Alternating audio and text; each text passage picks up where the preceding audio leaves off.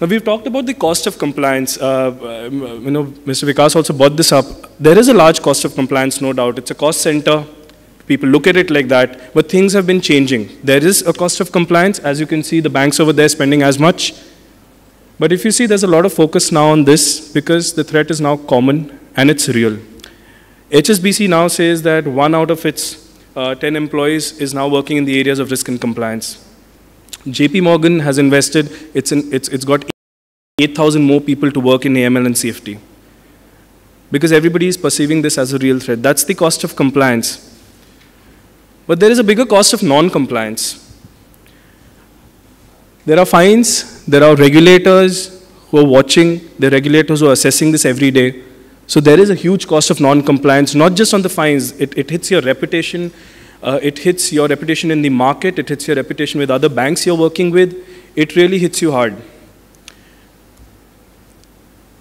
But there is a bigger cost of non-compliance as well, which is not just to, limited to you being monetarily affected. It results in wars. If you see this, this is on the Iraq war, and these are the estimates of the war. There's $2 million being spent every year. On the sorties that happen, the air power, the air force, there's $20,000 every hour that goes, and the total cost of the war by now is almost $2 trillion.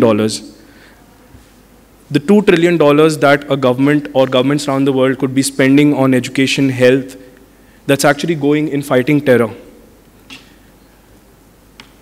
This is the biggest cost of non-compliance, when people are losing lives. So there is a lot of cost but there's a lot of cost of non-compliance as well. And that's, it's time to realize that. That's when sanctions come into place. See, sanctions are, it's, it's a very effective tool. It's a tool which is somewhere between a war and condemnations, you know. It's, it's, it's, you can say in a way, it's a tool which, which gets uh, terror out of its way slowly, gradually, without firing a bullet.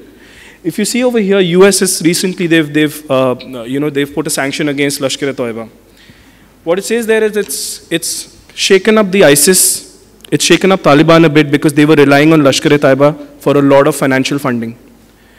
Very recently, a few days ago, UN has banned four ships uh, violating the North Korea sanctions. And if you see below that, I'll read it out for you. What it says is, how is that affecting North Korea?